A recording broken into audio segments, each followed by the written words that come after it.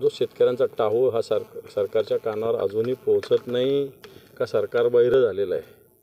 मला वाटतं वाटतं सरकार बहिरं झालं आहे त्याला शेतकऱ्यांचे दुःखसुद्धा दिसत नाही त्यामुळे ते सरकार आंधळसुद्धा झालेलं आहे. सरकार घोषणा करण्यात पुढं आहे. सरकारने घोषणा केली परंतु प्रत्यक्षात शेतकऱ्याला मदत पोहोचलेली नाही. सरकारने सांगावं की कोणत्या शेतकऱ्याला दिलं? माझं तर सरकारला चॅलेंज आव्हान आहे. तर रोल आज मी या बुलढाणा जिल्ह्यात या भागात आलेलो आहे. गारपीट आणि अवकाळी पाऊस याही भागात मोठ्या प्रमाणावर झाला आहे. शेताचं नुकसान झालं तसं जीविताचंही नुकसान या भागात झालेलं आहे.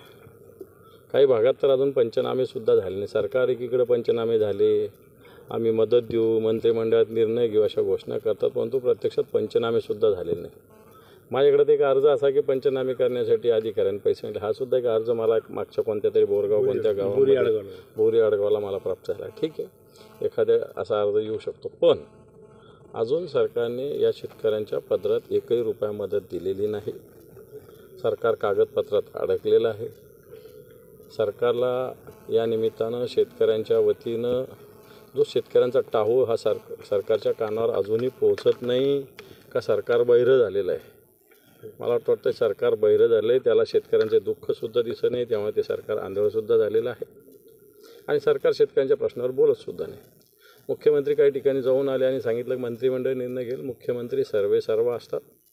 आत्ताच्या घडीला तुमचे कायदे एन डी आर एफचे काय असेल एस डी आर एफचे असेल काय असायचे ते असू द्या परंतु शेतकऱ्यांना मदतीसाठी एक पॅकेज आत्ताच्या घडीला अवकाळी पाऊस आणि गारपीटग्रस्त शेतकऱ्यांसाठी आवश्यक आहे. कारण समूळ पूर्णपणे पिकाचं उच्चाटन झालं आहे सगळीकडे. इथं कांदा असेल ज्वारी असेल बाजरी असेल मग काही ठिकाणी वेगवेगळ्या पद्धतीचे दुसरे पीक असतील बाजरी असेल कांदा असेल द्राक्ष असेल टरबूज असेल मिरची असेल हे सगळे पीक गारपिटीमुळे याच्यावर जो अटॅक झाला आहे त्यामुळे सगळेचे सगळे पीक नष्ट झाले. त्यामुळे शेतकऱ्यांना त्वरित मदतीचं पॅकेज सरकारने जाहीर करावं.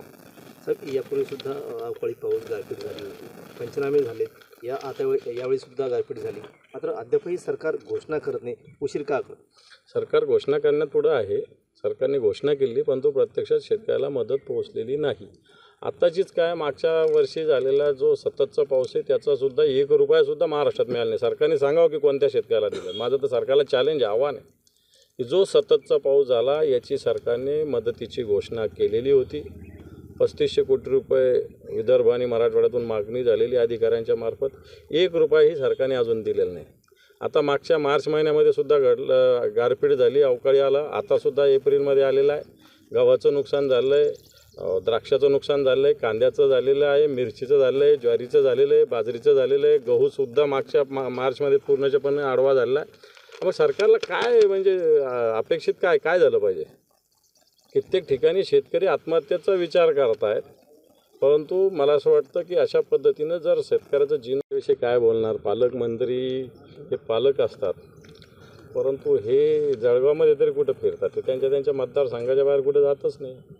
फक्त भाषणं करण्यात आणि नुसतं मोठ्या मोठ्या घोषणा करण्यात ते पुढे गेलेले. त्यांच्या खात्याचा सुद्धा कारभार ते नीट बघू शकत नाही. मुख्य मुख्यमंत्री आणि कृषी मंत्री एखाद्या ठिकाणी गेले म्हणून का शेतकऱ्यांचे गेले का? आज माझा आठवा जिल्हा आहे तीन दिवसामध्ये.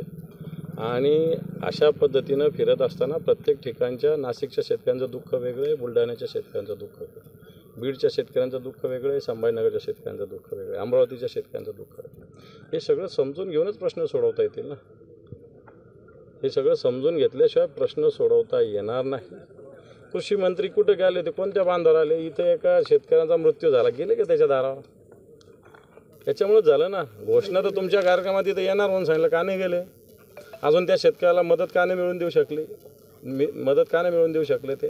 आणि म्हणून हे सरकारच मी सांगितलं ना बैर आहे मुक्क आहे ना आंधळ आहे. पण सरकार हे शेतकऱ्याप्रती संवेदनशील आहे की नाही? बिलकुल नाही. सरकार अ, संवेदनशील असतं तर आत्ता पण शेतकऱ्यांना मदत मिळेल. मागचीच मदत मिळाली नाही मी सांगतो काय मागचा ऑक्टोबर सप्टेंबरमध्ये जो पाऊस झाला त्याचीच मदत अजून मिळालेली नाही.